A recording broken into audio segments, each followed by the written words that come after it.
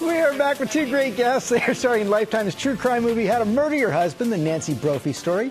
Please welcome Cybill Shepherd, Steve Guttenberg. Welcome, guys. Hi, guys. Hey. So, did, what an, an inspired pairing, but this is the first time you all have worked together? First time we worked together, and I heard that Cybill Shepherd and murder were going to be in the uh, recipe. So I said, yeah, I'm, Yeah, in. I'm in. You know, men love action and women love murder, so I'm here. Yeah, I so love I love murder. I couldn't. I love murdering him particularly. No, you, you, I, know, I really yeah, did. and I told you there's a long line. But it wasn't me, honey. It was the character. Exactly. Ripped With from the the gray headlines, wig. Oh yes, Ripped that woman. headlines. It's a Allegedly, the woman. Uh, They told me twenty thousand times to say allegedly. Okay, all right. So thank you for doing that. Like, Well, but she we're was convicted. Yes. Oh, She was convicted, but she's up yeah, on but- appeal. yeah, so but she's that's on why. appeal. She's on Yeah. appeal. But Lifetime has done it again. This is a rip from the headline story. It's a real story. Why I hasn't it happened to me before? Oh, because I needed someone to kill. I needed someone to murder like this. When she was going to murder me, I looked in her eyes, and she was pure evil.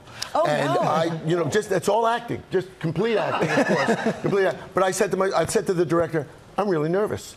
I mean, just don't let her point that gun at me. So I, I said, can she point it this way? They said, no. I said, maybe I'll go to my dressing room, she'll do the shot like this, and then I'll come back and I'll, I'll So, fall is it possible to have fun on a set about murder?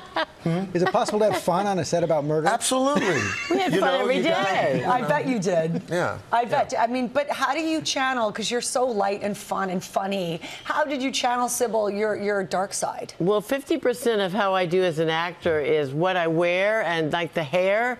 My character had gray hair and they had this brilliant, Shelley was doing, made, handmade my gray wig. Beautiful. And when I saw myself in that gray wig, I went, that's a oh, murderer. Oh, Let's take a look at a clip. Oh, yeah, now you see it. Are you okay? Why wouldn't I be? Okay. No reason, just.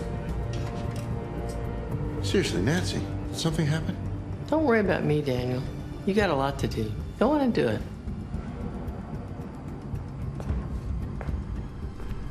And then it comes the moment when she solves her problem or doesn't, the point of no return.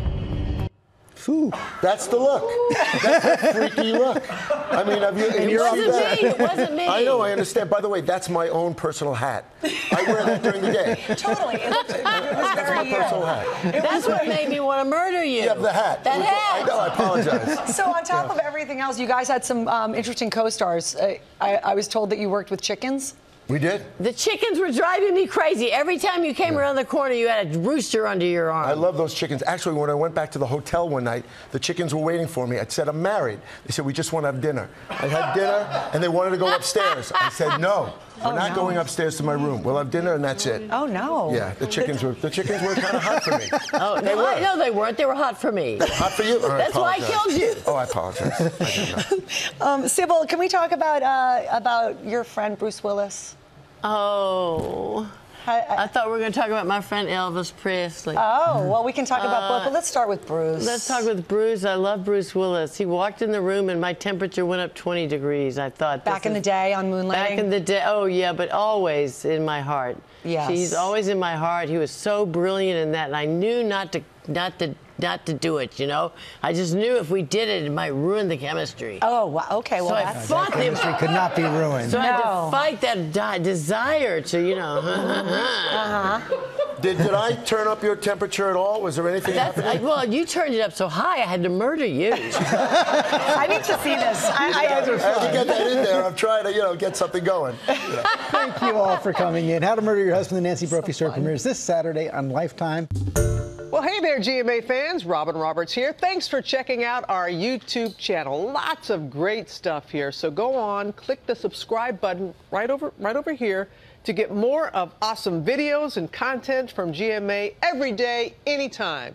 We thank you for watching, and we'll see you in the morning on GMA.